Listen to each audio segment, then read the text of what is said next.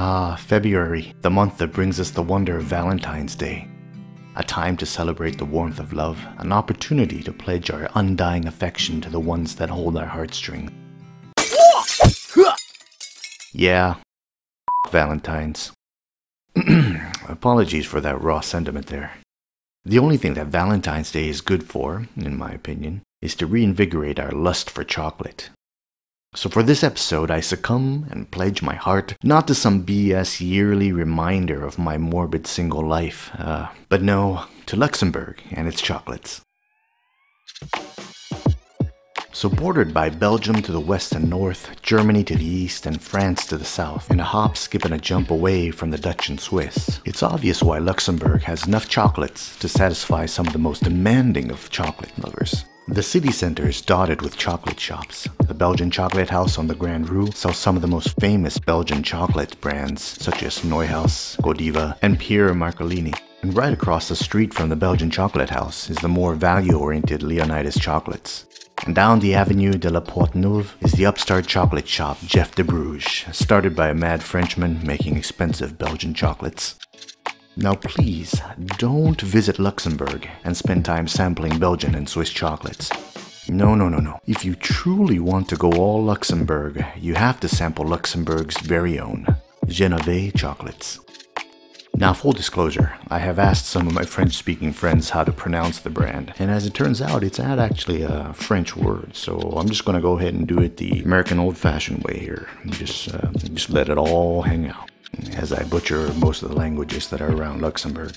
But I digress. Now, based on a little bit of Googling, Genaveh started somewhere in 2004 by then owner uh, Guillaume Navet, with the Luxembourg chocolate business changing hands in early uh, 2018 to a young entrepreneur named uh, Alexandra Kahn.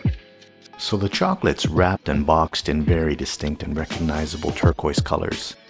The chocolate is distinctly Luxembourg, uh, small, charming, but high-end. You can find uh, Genaveh chocolates on shelves around the town, and there's an e-shop on the website to make it a little bit easier to order. But you know, for this episode, I wanted to take a short trip to the small shop located in the manufacturing facility, all the way out in the small town of uh, Steinfort, Luxembourg. And this little escapade will be the stage on which to act out uh, this episode's watch review. So, what would be an appropriate watch for this uh, chocolate mission, you might ask? Well, enter the Seiko SRPC 68. A Seiko diver with what else but a chocolate dial. So, sometimes referred to as the bottle cap, it's uh, 45 millimeters wide with a thickness of about 13 millimeters, 47 millimeters lug to lug. Uh, it's powered by a 24 jewel 4R36 movement with a 40 hour power reserve. Uh, it's an automatic, but it has a manual winding and hacking. Uh, while it seems to be a polarizing watch, I personally think that the chocolate dial contrasted with that gold toned steel bezel, uh, it's just one of those watches that makes me smile. Uh, so Steinfort. It's located near the Belgian border. It's about 45 minutes from Luxembourg City on bus. So a quick hop on to bus 222 takes you straight to the bustling town of Steinfort. Population somewhere around 5,000. And I'd like to sit here and tell you that the bus ride was fantastic and exciting, but uh, it was nothing exciting. Occasionally looking down at the watch as the sun caught the golden bezel and the chocolate dial. That was pretty much the most exciting part of the uh, bus ride to Steinfort.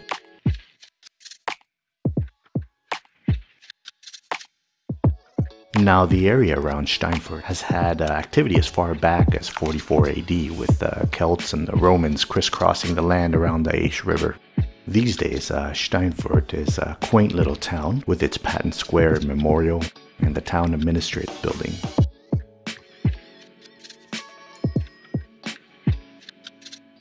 A small Catholic church sits across the street a little ways down, and all of this made for some great photo opportunities with the SRP 68 uh, on the way down to the Genaveh factory.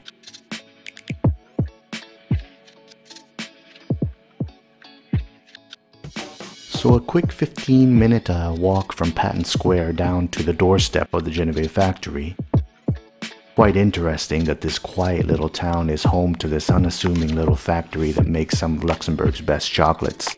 Uh, since I was visiting on a Saturday, I had to ring the doorbell to get a little help to get into the shop. Now, Genaveh apparently creates around 80 different recipes at this time. Still very much in its growth phase, uh, it produces around 9 tons of chocolates from this factory in Steinfort, Luxembourg each year. Now, for any normal human being, 9 tons of chocolate sounds like quite a lot. But you have to put it into perspective. Uh, the country of Belgium creates about 270,000 metric tons of chocolate a year. So what's the verdict on Genaveh chocolate? It's a must for any visitor at Luxembourg for sure.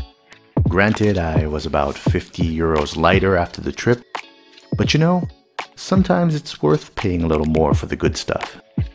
Now, honestly, I'm no expert in chocolates, uh, but uh, Genaveh chocolates, definitely, it tasted fantastic and quite worth the uh, trip to Steinfort. And for my Seiko travel companion, you might ask? Oh, well, I have to say, that it's a quite capable accomplice to my chocolate escapade there. Now the SRPC 68, it's definitely not a small watch. At uh, 45 millimeters, it can be a bit of a challenge to wear for people with smaller wrists. On the NATO strap that it comes with, it's about 95 grams, so uh, it actually becomes quite comfortable to wear and you don't really notice that it's there. And honestly, what's not to love about that dial? Combined with that gold-toned uh, unidirectional bezel and that golden bezel insert, it had a nice gleam and even on a cloudy day would uh, catch the eye.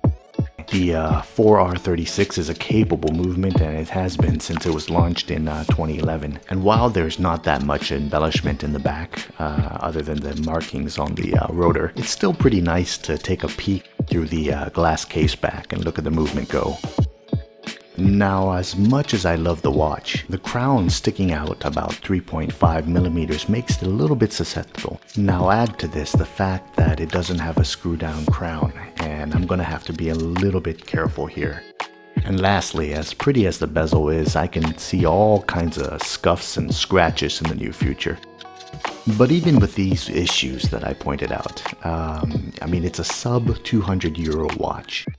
And that chocolate dial, I think it's easy to say that this watch is going to get plenty of rotation this year, and for years to come. Well, that's it for this episode. I hope you had a little bit of fun exploring uh, one of Luxembourg's charming homegrown chocolate companies, and a short review of the pretty and uh, capable Seiko SRPC 68. Thanks for watching, and uh, keep practicing watch love, no matter what you're wearing. And don't let anybody else tell you otherwise, because in the immortal words of the great Humpty Hump of Digital Underground, do what you like. Peace.